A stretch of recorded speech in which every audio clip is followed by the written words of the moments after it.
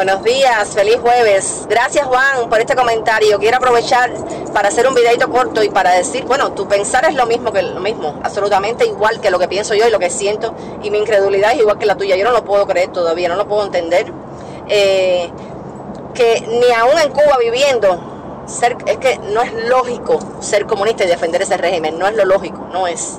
Pero aparte de eso, ya cuando esos comunistas, esos chivatones que tenemos aquí o en otros países de Europa y en esos lugares, salen de Cuba, tú dices, bueno, ya tengo ya una comparación, estoy viendo que tengo electricidad, lo fácil que es vivir la vida sin que tener que escoger el arroz, sin tener que eh, tener piedras en los frijoles, como siempre digo, sin tener que hacer cola, lo fácil que se me hace la vida, caramba, tengo internet, tengo luz todos los días, tengo posibilidad de tener un carro, eh, una moto, lo que me dé la gana.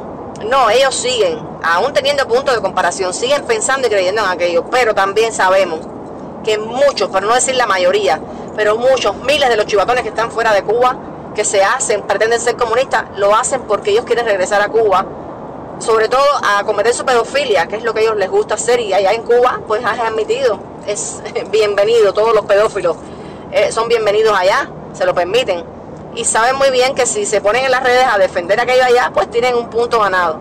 Pero de todas maneras, esos llegan allá y le quitan una pila de cosas en el aeropuerto, ¿viste?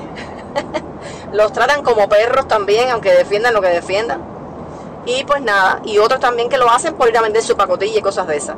Pero bueno, sabemos que, que, estos comunistas son, son, están endemoniados, son demonios, esa gente no son, no son buenos y el mal existe. Y ahí vemos, ese es el ejemplo verídico del mal, ser comunista. Pero bueno, eso es así, eso no lo vamos a cambiar nosotros y para que el mundo sea mundo tiene que haber de todo, pero caramba, en Cuba no hay de nada, ¿eh? De nada, lo único que hacer son chivatones atrevida. Gracias por tu comentario de nuevo. Que tenga un buen día. Libertad para el cubano que quiere ser libre, libertad para los presos políticos.